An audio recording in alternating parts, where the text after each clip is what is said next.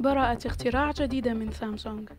سامسونج تكشف عن نيتها في وضع كاميرا في ال S Pen. ستحتوي هذه الكاميرا على نظام zoom مختلف وهو ال optical zoom system والذي من المتوقع أن يزودنا بجودة أفضل من ال digital zoom system.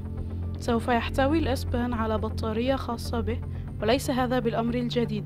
فقد احتوى القلم الخاص بسامسونج Note 9 على بطارية أيضا يتم شحنها من خلال مدخله في الهاتف.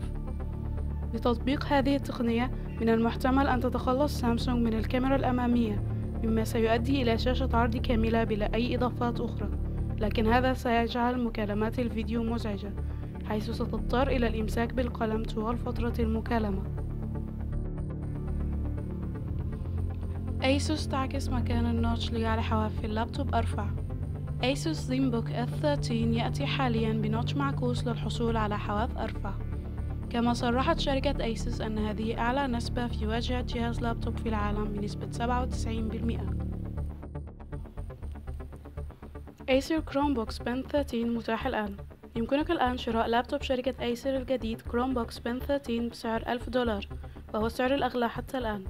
يعمل هذا اللابتوب بنظام تشغيل Chrome OS وهو نظام تشغيل يعتمد بشكل أساسي على متصفح كروم فكل ما يمكنك فعله بالمتصفح على نظام تشغيل ويندوز أو Mac OS يمكن أن تفعله في Chrome OS. ولكن التطبيقات التي تعمل خارج المتصفح لن تعمل على Chrome OS إلا إذا كان هناك تطبيق أندرويد أو ويب خاص بها. مشكلة في تحديثات ويندوز 10 مرة أخرى. توقفت تحديثات ويندوز 10 لدى بعض المستخدمين في الولايات المتحدة وبريطانيا وذلك بسبب حدوث مشكلة في ال DNS الخاص بمزودي الخدمة هناك مثل كومكاست في الولايات المتحدة و BT Broadband في بريطانيا. مما دفع بعض المستخدمين إلى استخدام ال Google DNS وهو ما أتاح التحديث مرة أخرى كحل مؤقت حتى يتم إصلاح المشكلة.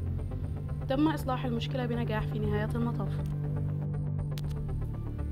بإمكان جوجل كروم الآن إخبارك إذا تم اختراق كلمات المرور الخاصة بك.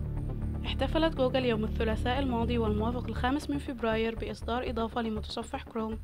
Password Up تقوم هذه الإضافة باختبار إذا كانت بيانات التسجيل الخاصة بك username و password في حوزة الهاكرز أي أنها تخبرك متى يجب عليك تغيير بيانات التسجيل الخاصة بك.